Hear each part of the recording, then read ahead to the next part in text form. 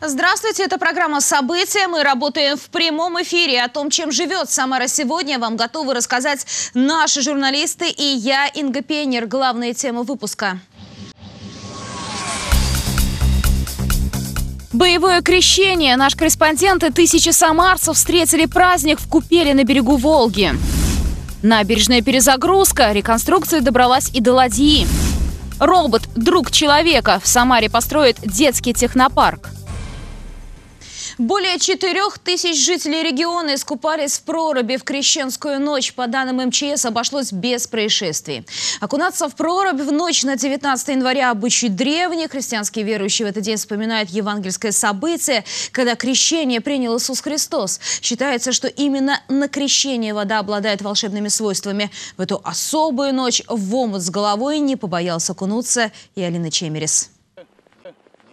На крещение служба в храме Георгия Победоносца начинается с ночи, затем причастие. Верующие выстраиваются в очередь за святой водой. По христианским обычаям на крещение ее можно пить в любое время, а после принимать понемногу натощак. Мы вспоминаем событие, которое описано в евангельской истории и связано с присутствием Иоанна Предтечи, когда он крестил Христа в реках Иорданских. Крещение, когда человек обращается к Богу, пытается обдумать всю свою жизнь, если это он крестится в взрослом состоянии, и э, как бы облекается во Христа. Многие прихожане прямо со службы отправляются к Волге, чтобы исполнить главный крещенский обычай – искупаться в проруби. Ради этого священного действия люди в мороз готовы отстоять очередь. Только русский человек может на святой праздник прийти в мороз, окунуться в прорубь, показать, что мы помним, чувствуем за собой, что в этот день крестили Иисуса Христа, что в этот день вот началась вся наша вера, можно так сказать. Ну и нам тоже мы за собой ощущаем маленечко благословления, там чуть грешки приотпустили. Прежде чем жители искупаются в ледяной волжской воде, ее освещают служители церкви. Затем организованно в порядке живой очереди люди подходят к проруби. Несмотря на то, что на улице около 16 градусов мороза, народ лихо раздевается и окунается в реку. Александр Назаров не изменяет традициям уже 15 лет.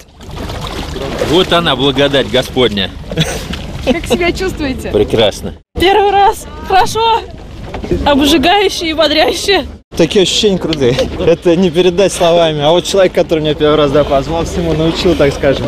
Да, мы уже не первый раз. Ощущения спрашивают. Ощущения? Это, это не Тепло. передать, да. Скажите. Вот сейчас вот искупались, я стою, мне тепло. Купаться в проруби – традиция давняя. На Руси младенцев окунали в ледяную воду, чтобы приучить к суровым условиям. Также воины проходили обряд инициации с помощью купания. Считается, что именно сегодня, в ночь на 19 января, вода обладает особыми свойствами. Если в нее окунуться, все плохое уйдет, останется только здоровье. У меня сегодня первый раз, раньше я этого никогда не делала. Ребят, пожелайте удачи.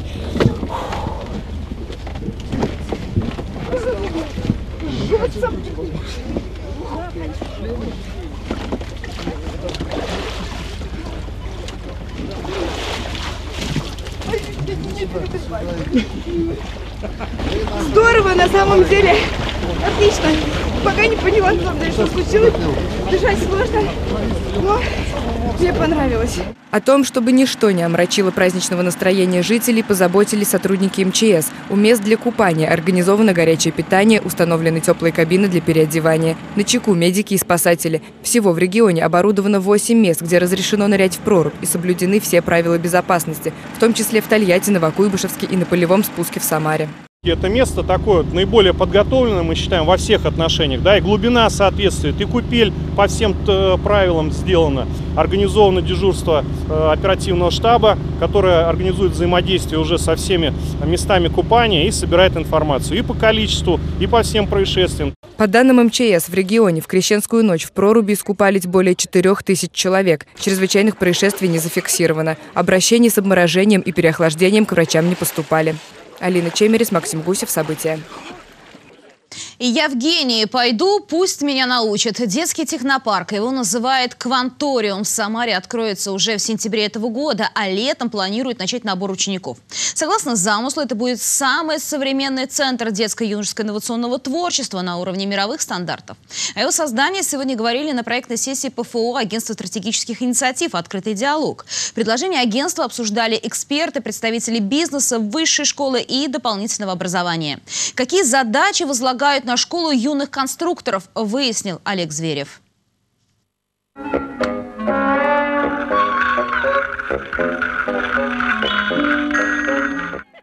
Вот на таких примерах советским детям объясняли, чему учат во дворцах пионеров. Техническое творчество подростков всегда было в почете. И вот в Самаре уже в 21 веке создается самый современный детский технопарк – Кванториум. Подобные центры уже работают во многих регионах страны. Сегодня этот вопрос обсуждали на окружной проектной сессии Агентства стратегических инициатив. Условия, необходимые для открытия Кванториума, выполнены. Это региональное софинансирование, хорошая научно-техническая база и сотрудничество с высокотехнологичными предприятиями. Это такой э, дворец пионеров будущего. То есть это, так, это работа с детьми, но с, с, с участием высоких технологий, с участием робототехники, с участием э, новых разработок, там, виртуальной реальности. Это то, что позволит профориентировать наших детей на будущие профессии. В Самаре успешно работает Центр молодежного инновационного творчества. Создана секция робототехники при университете. Открыта школа одаренных детей. В качестве бизнес-партнеров могут выступить предприятия аэрокосмического, нефтехимического, медицинского и других кластеров. Создание кванториума одобрено на уровне высшего руководства страны. И уже летом этого года будет объявлен набор учеников в детский технопарк. Очень важно, что кванториум будем создавать в двух городах, и в Самаре, и в Тольятти. Тольятти это будет на площадке технопарка «Жигулевская долина». В Самаре мы сейчас окончательно определяем площадку. И на самом деле эта идеология очень хорошо встраивается в ту работу, которую а, также делает регион по указанию губернатора. Он уже неоднократно говорил в послании, что нам нужна школа одаренных детей. И вы знаете, что с прошлого года такая школа у нас уже работает. И а, идет проектирование, опять же, совершенно нового объекта, который будет построен на новой площадке. Детские технопарки в Самаре и Тольятти, согласно замыслу, будут работать на уровне самых передовых мировых стандартов. Так, чтобы, пройдя эту школу, каждый юный кулибин мог стать специалистом, востребованным на любом высокотехнологичном предприятии. Олег Зверев, Григорий Плешаков. События.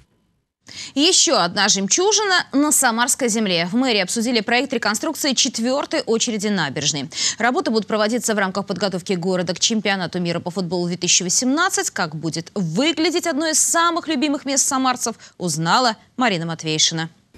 Обновленные стелы ладья, четырехъярусный фонтан с подсветкой и велодорожки. В мэрии Самара обсуждают проект реконструкции четвертой очереди набережной. По проекту здесь переделают лестницы от ладьи, установят новую детскую и спортивную площадки, частично реконструируют здание общественного туалета и построят корпус для персонала, охраны и хозяйственно-бытовых нужд. На всех спусках установят пандусы для маломобильных горожан. Вся территории набережной будет под видеонаблюдение, то есть требования на сегодняшний день к объектам с массовым пребыванием людей, то есть бесспорно как бы, в этом плане соответствие. Вторую и четвертую очереди набережной соединит бульвар, часть которого будет отведена под велодорожку с разворотным кольцом. В нескольких местах будут обустроены велопарковки. Для удобства пешеходов каждую террасу оборудуют скамьями, которые будут оснащены навесами для отдыха. На обновление набережной потребуется более 600 миллионов рублей. Для нас это очень важный объект, потому что он будет привлекать к себе туристов. Да, это один из тех узловых мест, одно из, одно из тех узловых мест, где будут концентрироваться туристы, приезжающие в наш город в рамках чемпионата мира 2018 года. Да и вообще набережная излюбленное место наших горожан. И возможность реконструировать и привести ее в современное, красивое, значит, такое современный красивит, она, конечно, задача очень важная. После одобрения в мэрии проект отправится на согласование с губернатором Самарской области. Все работы по реконструкции четвертой очереди набережной планируют завершить к концу 2018 года. Виктория Шара Марина Матвейшина, Артем Сулайманов. События. Второй мамой часто называют классного руководителя в школе. Это особый учитель в жизни ребенка. В Самаре завершился областной конкурс «Классный руководитель-2016». Победители объявлены в трех номинациях. Учитель младших классов, руководитель среднего звена и учитель старших классов. С участниками познакомилась и наш корреспондент. Звездные выпуски, так называют учеников Елены Смирновой. Она работает учителем начальной школы более 30 лет, и почти половина класса, а иногда и больше, выпускаются с медалями. Елена Петровна учит детей не бояться быть успешными, пробовать себя в конкурсах и олимпиадах. И к каждому ребенку находит индивидуальный подход. В каждом ребенке таится, кроется какая-то своя искорка, свой талант. И его нужно раскрыть, как говорил Сухомлинский, взлелеять, и э, вот тогда мы узнаем, может быть, вырастим какого-то гения. В Самаре подвели итоги областного конкурса «Классный руководитель-2016». В этом году в нем участвовали более 400 человек. Педагоги представили на суд жюри свои методики работы с учениками. В финал вышли 46 классных руководителей. У таких педагогов обязательно есть изюминка.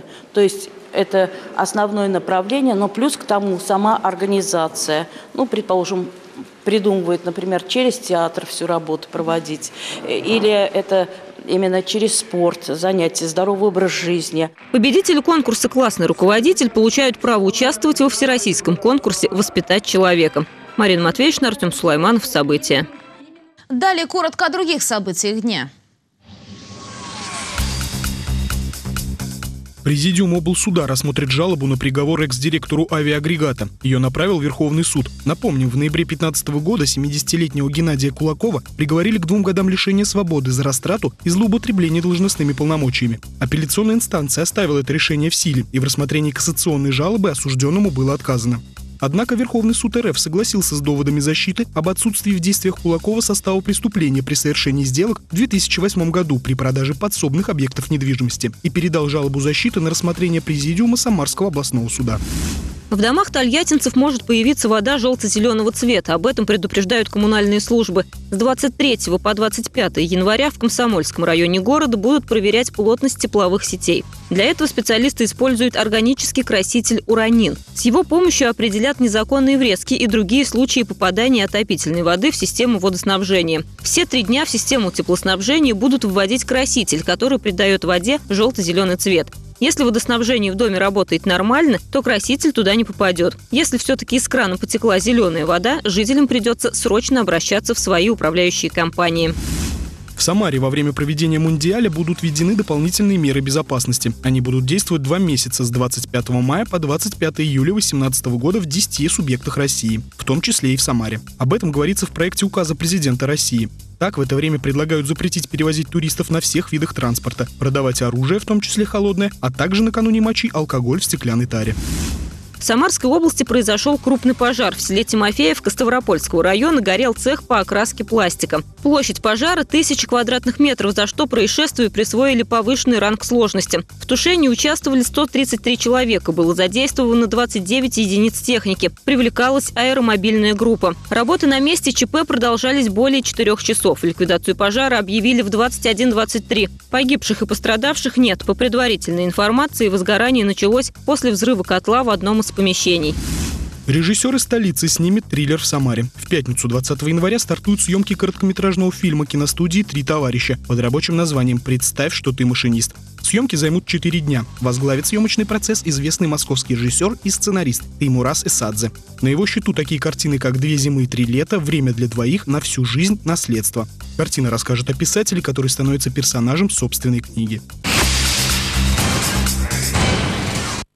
По ту сторону смыслов в Самарском художественном музее открылась выставка итальянского фотографа и дипломата Леонардо Бенчини. Ее автор находит вдохновение в простых вещах, но представляет их с необычного ракурса. Зрителю предлагают самому разгадать замысел фотохудожника. Сергей Ромашов тоже попытался увидеть больше.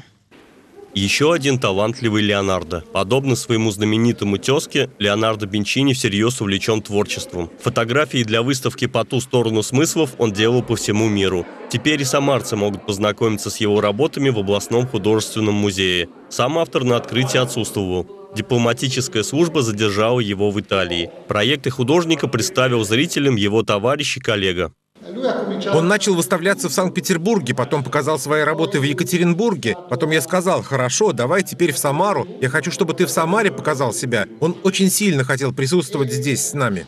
Выставка Бенчини представлена в жанре авангард. Это значит, что автор экспериментирует со своими работами. Он черпает вдохновение в самых обычных вещах. Но не каждый неискушенный зритель без подсказок поймет замысел автора. Самарцам, тем не менее, загадочные фотографии Бенчини пришлись по душе. Вот эта выставка ну, приятное впечатление. Я вообще люблю авангард и сам выставлял в то время э, свои авангардные работы. Ну, немножечко маловат, по-моему, можно было побольше сделать. Центральное место в творчестве Леонардо Бенчини занимает поиск скрытого смысла. У каждого этот смысл может быть свой. Пять человек могут увидеть в одном и том же фото пять разных вещей, и все окажутся правы.